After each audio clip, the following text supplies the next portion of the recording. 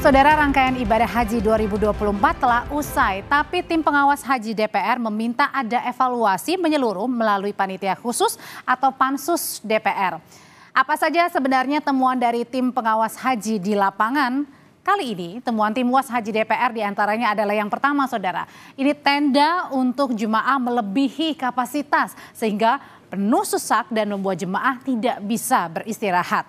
Kemudian permasalahan berikutnya ini ada juga temuan minimnya fasilitas pendukung seperti toilet sehingga membuat jemaah harus antre hingga lebih dari dua jam. Berikutnya juga permasalahan lain yang dihadapi para jemaah adalah penyejuk ruangan yang mati hingga fasilitas yang tidak ramah terhadap jemaah lanjut usia. Yang juga jadi kritik sebenarnya dari tim pengawas haji adalah soal kuota tambahan yang separuhnya dialihkan untuk haji khusus. Tim UAS menilai selain mencederai rasa keadilan masyarakat yang sudah menunggu lama untuk bisa berhaji, kebijakan ini juga dianggap menyalahi undang-undang. Pertanyaannya saudara, apakah rencana pembentukan pansus haji bisa menjadi solusi atas sejumlah temuan masalah pelaksanaan ibadah haji? Kita bahas usai tayangan berikut ini. Jemaah Haji Indonesia kini bersiap pulang ke tanah air setelah rangkaian ibadah haji 2024 usai.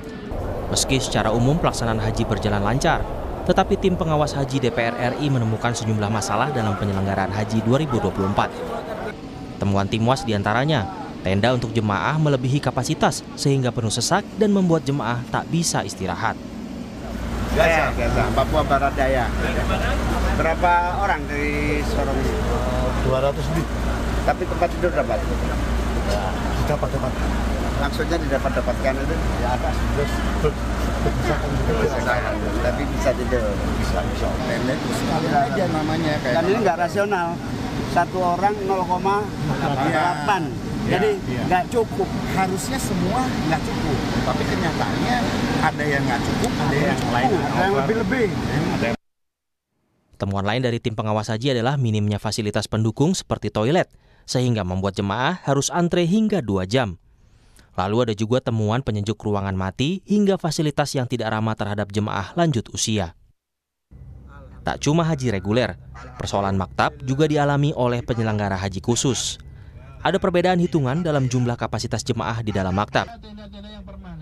Ketua Umum Serikat Penyelenggara Umroh dan Haji Indonesia atau SAPUHI, Syam Resviadi menyatakan, meski tidak terjadi kekurangan tempat tidur untuk jemaah, perbedaan hitung jumlah jemaah ini akan berpengaruh pada luas maktab, sehingga luas maktab akan berbeda.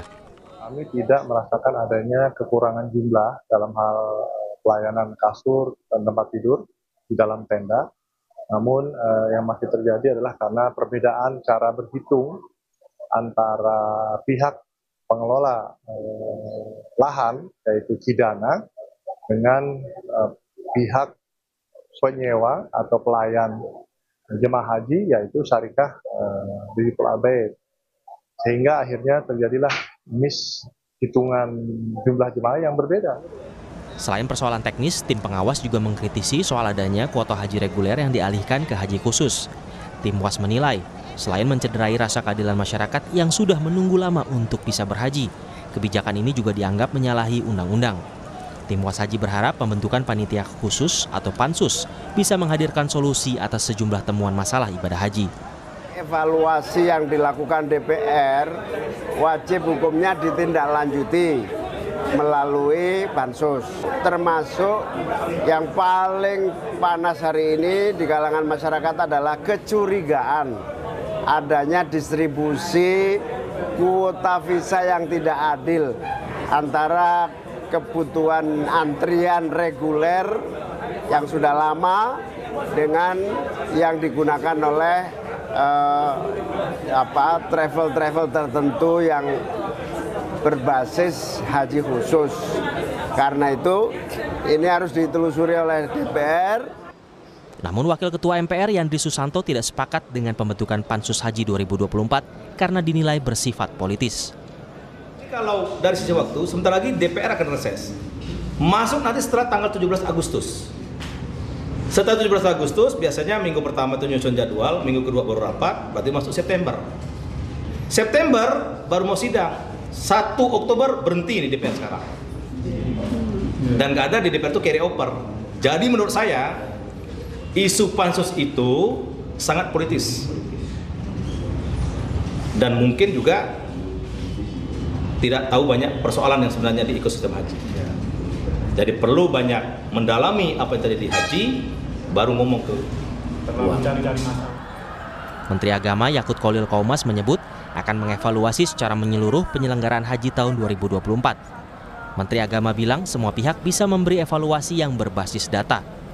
Yakut mengklaim persoalan haji yang ditemukan di lapangan telah direspons dan dicarikan solusinya dengan cepat. Semua yang dilakukan oleh pemerintah, meskipun jamaah mungkin ya merasakan pelayanan yang sangat memuaskan, tetapi bagi kami tetap harus ada evaluasi. Apa pun harus dievaluasi dan evaluasi itu harus berbasis pada data. Ya. Jadi termasuk tadi misalnya ada AC mati, datanya di mana AC mati. Kita akan segera evaluasi.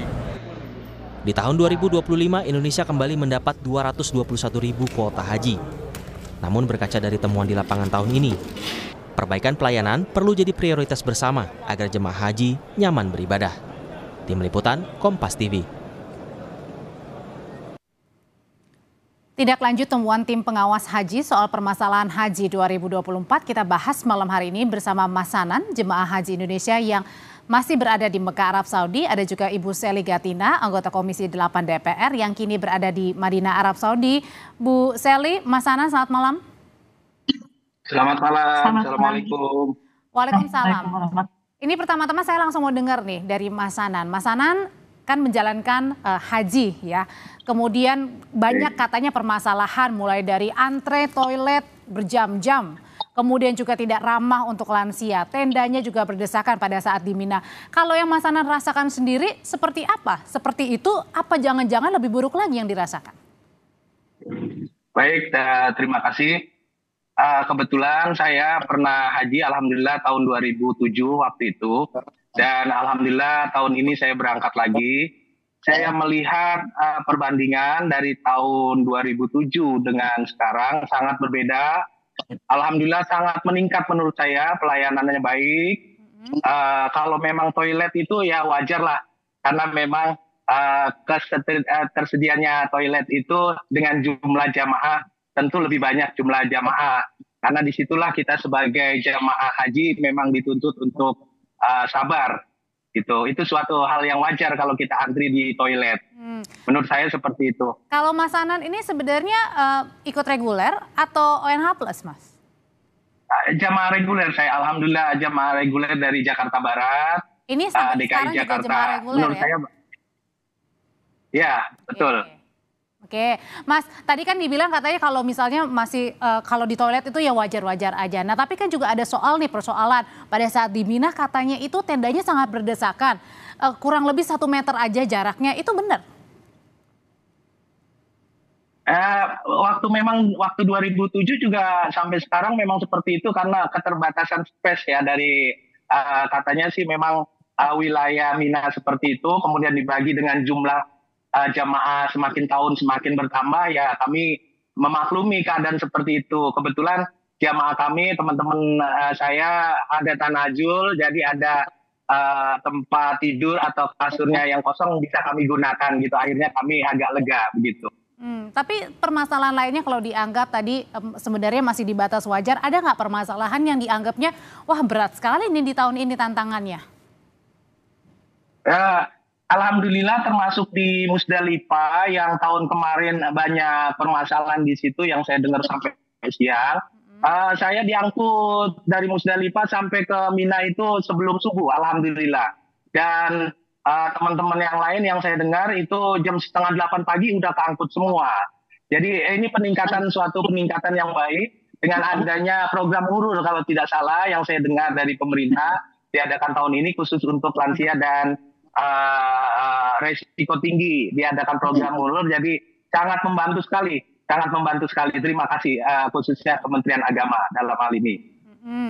Kak, mungkin ya Mas Anan ini menjadi salah satu jemaah yang beruntung ya, uh, yang kemudian juga uh, uh, yang yang yang tidak terlalu menghadapi masalah banget gitu. Tapi mungkin ada jemaah yang lainnya juga Bu Seli yang menghadapi permasalahan yang uh, kemudian lebih parah dari uh, Mas Anan. Tapi kalau secara uh, gambaran luas, Bu Seli sebenarnya melihat uh, penyelenggaraan haji 2024 betul banyak permasalahan Bu Seli?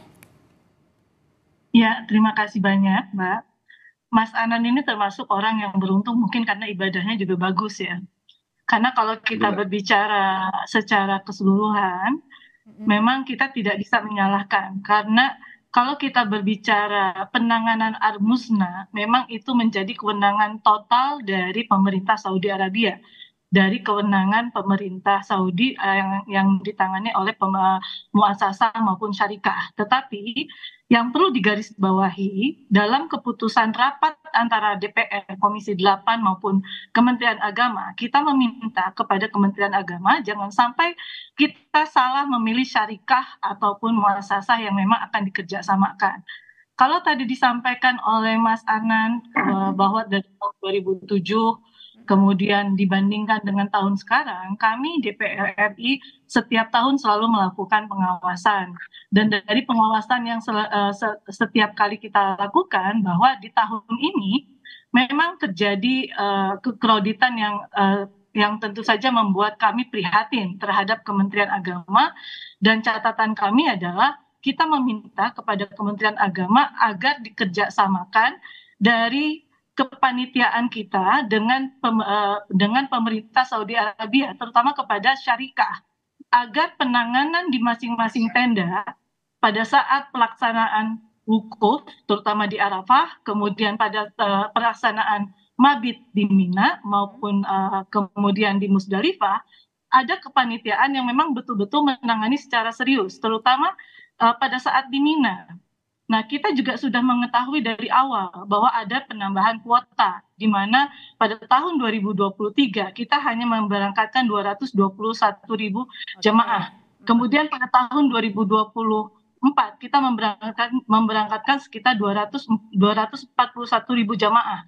Kemudian kita menggarisbawahi kepada uh, Kementerian Agama, apakah ada penambahan space? Tidak untuk para jemaah reguler kita, gitu kan? Oke, Jangan sampai kita menambahkan jamaah, eh, menambahkan jamaah, tidak ada penambahan space. Dan akhirnya terbukti hari ini ternyata di Mina maupun di Arafah tidak ada penambahan space. Dan terbukti hari ini banyak jemaah kita yang mengalami hal yang tidak mengenakan dan mereka harus berdempet-dempetan, kemudian mereka juga harus bertumpuk-tumpukan dan Mas Anan adalah salah satu jemaah yang beruntung hmm. karena mungkin tenda yang ditempati Mas Anan mendapatkan space okay. yang lebih leluasa sehingga ya, sambil Ya, sambil diperbaiki Ibu untuk komposisinya, Bu, uh, saya mau nanya lagi ke Bu Seli. Nah, uh, kemudian perlu nggak kalau begitu ada banyak catatan yang justru dialami ya sama Ibu Seli sendiri bahwa melihat berdesakan sekali saking padatnya jemaah haji asal Indonesia.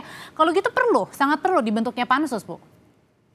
Ya, kenapa kami harus melakukan pansus? Pansus itu bukan hanya berbicara tentang penumpukan jemaah, tetapi pansus itu kita berbicara ada beberapa aspek. Pertama, yang akan dibahas oleh DPR, terutama Komisi 8 selaku panja yang memang kemarin kita sudah putuskan ada empat aspek mengenai manajemen kuot, pembagian kuota. Karena kemarin sempat dibahas juga, tadi sempat disinggung di awal, hmm. ada kuota reguler nah, yang ini. kemudian di ya ada pembagian kuota yang seharusnya diberikan untuk kuota reguler kemudian dibagikan untuk kuota haji khusus. Kemudian kita berbicara yang kedua kita berbicara tentang manajemen pelayanan eh, penyelenggaraan ibadah haji. Yang ketiga kita berbicara tentang manajemen keuangan haji. Yang keempat kita berbicara tentang SDM eh, penyelenggara eh, SDM apa SDM penyelenggaraan ibadah haji terutama dari panitia penyelenggara. Nah, ada empat aspek yang akan dibahas oleh panitia khusus. Kita tidak berbicara tentang uh, mengenai uh, apa uh, mengenai tentang penumpukannya saja gitu loh. Tetapi ada pembicaraan yang memang komprehensif tentang sistem yang akan kita bahas. Jadi dari, ada alasan dari, yang sangat kuat ya Bu, kenapa perlu dibentuknya pansus. Nah, oleh karena itu pertanyaan selanjutnya Bu Seli, kan ini dianggap tadi juga sama uh, Bang Yandri ya, ini dianggapnya bermuatan politis banget nih kalau dibentuknya pansus, apalagi masa kerja DPR kan singkat banget. Ah. Betul. Kita tidak berbicara masalah politis. Mohon maaf, kita mengetahui bahwa uh, Gus Menteri ini kan sama-sama PKB gitu. Cak Imin juga sama-sama ketua pan, sama-sama ketua tim tim apa? Tim uh, pengawas gitu loh. Kita tidak ada kepentingan di situ. Yang kita bahas ini adalah kepentingan jamaah seluruh Indonesia okay. yang harus dilakukan pelayanan secara menyeluruh agar pada tahun berikutnya tidak lagi terulang seperti ini gitu loh. Bahwa bahwa nanti akan ada evaluasi penyelenggaraan itu kan bisa di take over kepada anggota DPR RI yang periode berikutnya Baik. gitu loh. Baik. Itu yang harus gitu loh Mbak. Tidak ada unsur politis karena pembenahan jemaah haji ini penting sekali ya untuk penyelenggaraannya terutama untuk di tahun depan. Terima kasih Ibu Seli, Mas Anan terima kasih, sehat selalu. Sama-sama, Alhamdulillah.